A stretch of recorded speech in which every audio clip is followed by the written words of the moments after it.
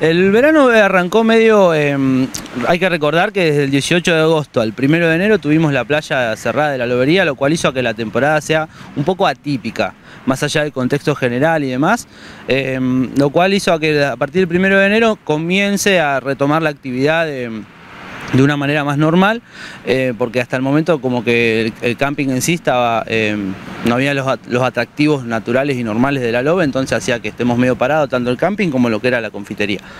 Así que ahí estamos eh, presentando los servicios del camping, la verdad que la gente responde bastante bien, hay bastantes consultas, pero no, no tanto así el, volumen de reservas como para lo normal de un enero, pero bueno, comprendemos la situación, así que también es parte de eso.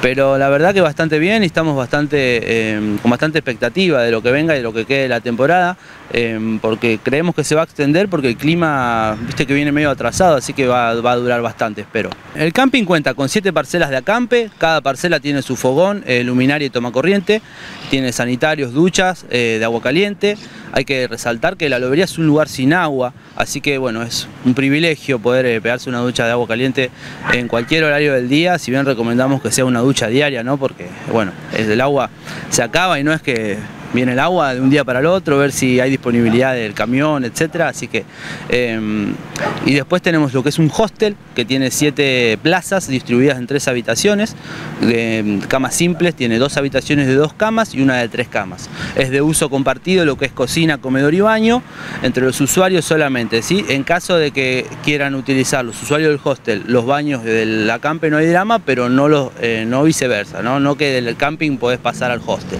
Tiene una terraza, mirador y contamos con proveeduría. Em, te diría que es, básica, pero hay un poquito más, digamos, pero siempre recomendamos al usuario llevarse lo que son productos frescos de tipo lácteos, eh, fiambres, carnes, vegetales, porque bueno, en lobería es de difícil acceso a todo ese tipo de productos, como así también recomendamos llevar el agua potable. Si bien pedimos agua potable para lo que es el servicio, Viste, no siempre, eh, no siempre el camión eh, carga todo potable porque a veces es el mismo que riega la calle, a veces entonces recomendamos eh, que lleven agua potable. Hoy día el valor por persona de la campe es 4 mil pesos por persona por día y se abona por única vez carpa y vehículo 3 mil pesos, ambas.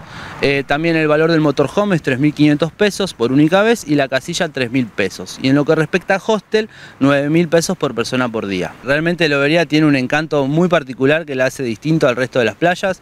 Eh, se va a volver a reabrir el centro de interpretación en la brevedad, lo cual va a hacer a que, a que sea un poco más jugoso el atractivo de lo que es la zona, eh, sobre todo para los que no conocen, ¿no? Así que recomendamos, eh, dado que el camping es muy pequeño, recomendamos que reserven previamente a nuestro número de WhatsApp, que es 2920 40 97 28, o a través de nuestras redes eh, soliciten información camping, camping.